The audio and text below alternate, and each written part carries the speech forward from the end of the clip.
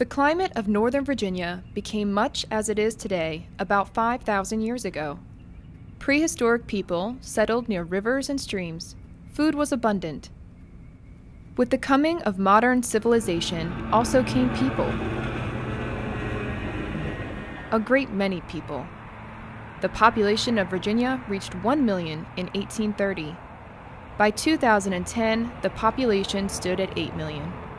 Modern development has brought unprecedented environmental stresses and challenges. People created the problems, and now people must solve the problems.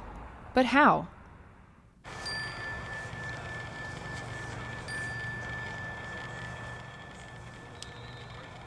All actions flow from values.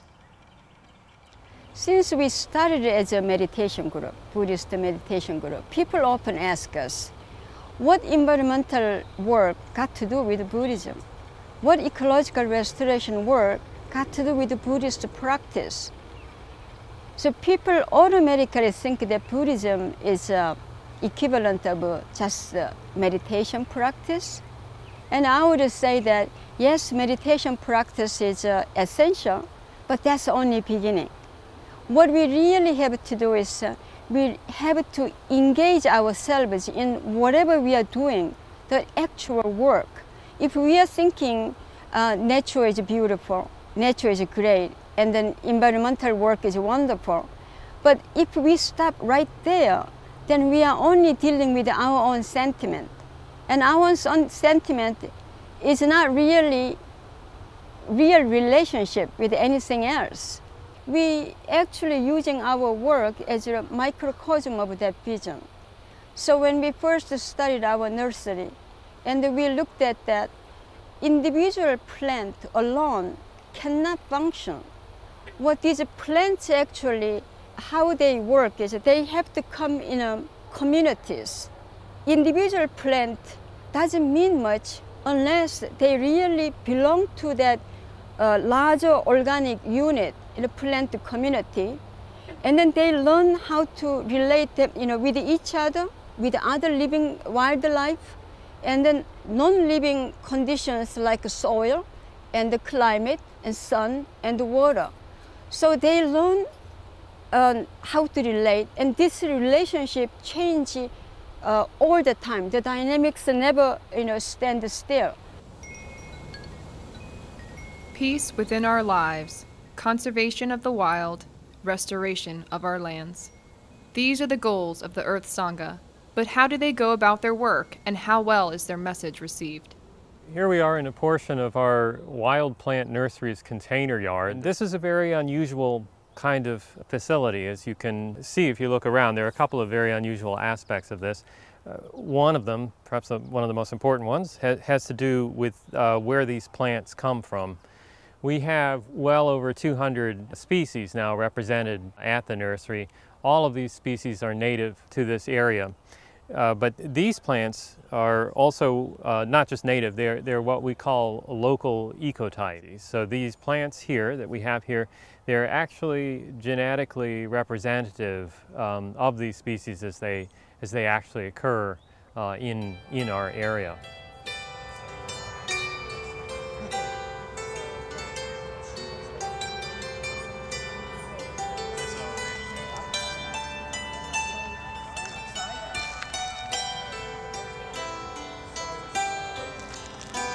Most of the work here is done on a volunteer basis. So this is a real community nursery. It's a real community. The people who work, who supply most of the labor are just doing it just because they care about this stuff. They come in here, they, they sow the seeds, they tend the seedlings, they, they help move the plants out when the time comes. A lot of the stock here feeds our own uh, restoration sites on, on public lands.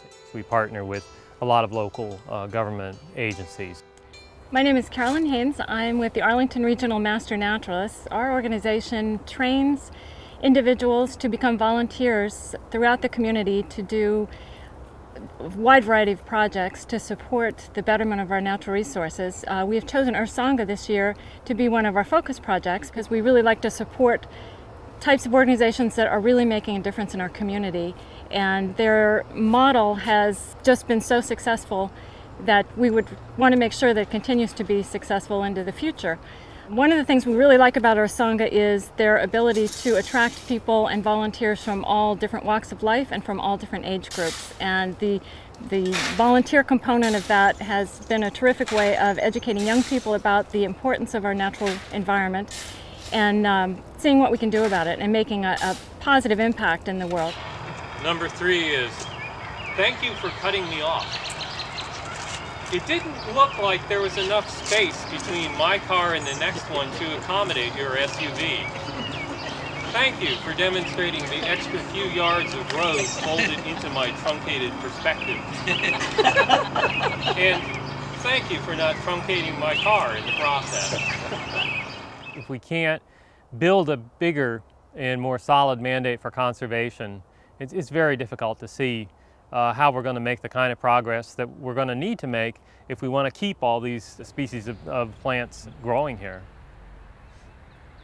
In McLean, Virginia, the Native Arboretum Project is transforming the 20 acre Marie Butler Leven Preserve into an extensive collection of plants native to the greater Washington, D.C. area, creating a botanical library as a public resource for building ecological literacy and for creating a stronger mandate for conservation. There are several trails through the preserve's forests and visitors can see a variety of interesting native plants already growing on the grounds. But the preserve's native flora is threatened by invasive alien plants. The invasives have displaced native trees, shrubs, and herbs. If left unmanaged, the invasives would also tend to convert more and more forests to thicket. Invasive vines weaken trees and make them more likely to topple. Invasive thickets and vine tangles interfere with forest regeneration by suppressing tree seedlings. The spread of the invasives also degrades the habitat of many native animals. We call this area the restored habitat area. And when we started working here several years ago, it really was just a green dead zone. The, the ground layer was almost entirely covered with English ivy and with a couple of other species of um, very invasive alien uh, vines. And uh, the shrub layer was mostly absent, but the few shrubs that were here uh, were uh, also alien species. And to deal with this situation, we took out everything. We just pulled out all the um, uh, invasive alien shrubs, and then we kind of unzipped the ivy. We just uprooted all the ivy and rolled it down the slope and then hauled it out. We took this whole area down to the soil, and then we covered the soil uh, with burlap and then we put about, I think about six inches of, of mulch on, on top of the burlap to help hold it. Here we are in front of um, what we call the witch hazel grove. This is a group of shrubs, all of the same species, witch hazel. That's all this stuff back here that you can see here. Witch hazel is uh, it's an interesting native shrub. When those seed capsules ripen, they'll crack open and the witch hazel will throw the seed. It's a seed dispersal mechanism so that the offspring don't grow so close to the parent.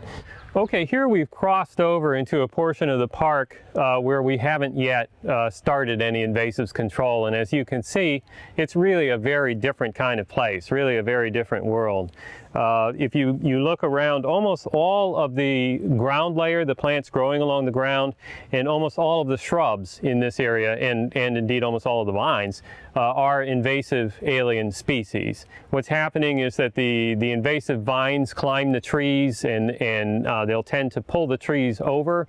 The invasive ground layer is an interesting kind of structural feature of what you see here. The invasive ground layer is preventing tree seedlings from germinating. If you look around, you don't see any little baby trees. So that means that the forest isn't properly stocked in a way that will preserve itself. As the big trees eventually die, there won't be any little trees uh, around to succeed them. The forest canopy will come down and the shrub layer, the invasive shrub layer will come up and you end up with a very dense thicket.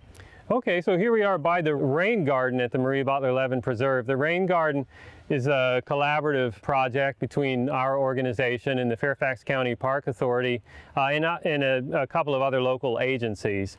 And the idea here, the garden is actually in the center of a sort of bowl, a natural bowl that extends, that covers about an acre, uh, includes a little portion of Kirby Road, which you can see in the background there, and some forest and, and some of the field here. And it takes in whatever rainfall runs off that acre or so is directed here. The land here is sculpted to route the water into the garden. And the garden acts like a huge sponge. It's full of this specially absorbent soil-like material that extends down about six feet from the surface. So it just takes in all that water and it holds it for a little while uh, and then releases it uh, slowly into the surrounding soil. So that slows the rate at which the runoff uh, actually hits the stream. And it also has a little bit of a filtering function. It, it um, uh, can filter out some of the pollutants that wash off the road, especially the oil and, and in the winter the salt. Mason Neck is a great place to learn local history and the nature of the mid-Atlantic coastal plain. Most of Mason Neck is protected for conservation. The peninsula is home to Pohick Bay Regional Park, Gunston Hall Plantation, Mason Neck State Park, and the Mason Neck National Wildlife Refuge. In 2001, the Meadowood Recreation Area was designated the newest protected area. Meadowood consists of 800 acres of forest and horse pasture. Here, the Earth Sangha is collaborating with the Federal Bureau of Land Management on several restoration projects for the property. Meadowood consists of about 800 acres of woods and open fields and is a nice natural area and recreation spot in Fairfax County. The slope behind me several years ago was a completely barren area and it's very steep as you can see. It erodes right down into a stream that's right on the other side of the fence. Through our Challenge Cost Share partnership with Earth Sangha, we've been working for several years to restore this slope. As you can see, it's very well vegetated now. We've used hundreds of volunteer hours to replace the grasses. We planted native grasses, native trees, shrubs, and forbs also, different types of plants that provide habitat and food for the wildlife in this area. This is what we call ecological display area. It used to be uh, just pasture land and about four acres of them. And what we're trying to do is that creating a window onto a coastal plain, the ecology of a coastal plain. We found was that every time we had a heavy rainfall event, we would have quite a bit of water coming down the drainage that's right behind me and eroding the stream channels just below of this site. Part of our work with Earth Sangha has been to fence in this area and restore the native plants by planting grasses, shrubs, and native trees. The pond behind me has served several different functions. The original intent was to capture all the drainage that was coming down through the valley and hold it before it could go down through the stream and erode further. But it's also functioning as a spring pool in that it holds water during wet periods in the spring and provides habitat for amphibians for breeding, mainly salamanders, frogs, and toads. Because so much of suburbia consists of buildings, roads, parking lots, and bulldozer compacted turf, the landscape absorbs relatively little water, compared to what it once did when it was less paved and more forested. When it rains in the suburbs, a much smaller proportion of the water is now retained by plants in the soil, and a much larger proportion runs into the streams. If you go for a walk around here in the woods, these woods, um, or practically anywhere along a stream, you'll see a lot of down trees. This tree was just recently come down. It's a big American beech. It's still got all its leaves and so forth, so it fell just recently. And, and the immediate reason uh, for its keeling over like that is that it has been undercut by the stream channel. Now, a certain amount of that kind of thing is natural, but what has happened in places like Northern Virginia is that uh, we have a runoff problem. We have a huge stormwater runoff problem. The land as a whole is much less absorbent than it used to be. It holds a lot less water. So every time we have a big storm, instead of the rain being absorbed directly into the soil where it fell, it all runs off and it ends up very rapidly in a place like this, in this uh, a little creek running through a forest. This stormwater runoff is causing all kinds of difficulties. It is, first of all, causing the channels to rearrange themselves very quickly. That's the kind of thing that knocks trees down. And there's also a lot of what we call thermal pollution that happens. The rain as it runs off the, the parking lots or whatever, it's relatively warm compared to uh, the temperature, the natural temperature of a shaded stream like this one. And most uh, aquatic organisms only tolerate a certain relatively narrow range of temperatures. So when you heat up the water like that, you make the water much less inhabitable for a, a large number of native species. So that's a big problem. We do a lot of uh, what we call riparian plantings. Uh, that is where we try to reestablish uh, native uh, natural vegetation along stream banks where that vegetation has, for whatever reason or another, uh, been subtracted out. It's been cut out, you know, to make turf or it's been destroyed for one, one reason or another. And you can see that kind of thing even here. See some of those tree tubes, we call them, behind me. This is actually a very good example of why this type of work is important. We're very interested in the aquatic communities and we're doing what we can to try to help conserve them and, and restore them. Acting locally, thinking globally, the Earth Sangha is now applying the lessons learned in Northern Virginia to a totally different area. We are interested in propagating our system as best as we can when we see an opportunity. And our biggest achievements in that regard is this program we call the Tree Bank Hispaniola. We got there as a partner with a Peace Corps volunteer back in 2006. To understand this a little bit better might help if I were to describe the kinds of problems that you see in this landscape. It is a very dysfunctional kind of farming landscape. The forest that remains is still managed in a kind of what we call a Swidden pattern. It's basically a slash and burn. Uh, the forest is allowed to come up for a, a relatively short period of time in some parts of the farms and then it's burned again. These people are trying to grow beans. Beans are the big cash crop. But the soils are poor, so in order to grow these beans, they have to buy a lot of artificial fertilizer, which is very expensive, and it's uh, obviously that entails all kinds of environmental problems associated both with the production of the fertilizer and its use. They can't afford the fertilizer, so they have to take out these very high interest kind of loan shark loans in order to do this. That was the situation that we encountered when we started work down there, and we didn't really come in, sort of parachute in and attempt to impose any particular solution on it, but we, we had some ideas. The first thing we did was to, to set up a nursery.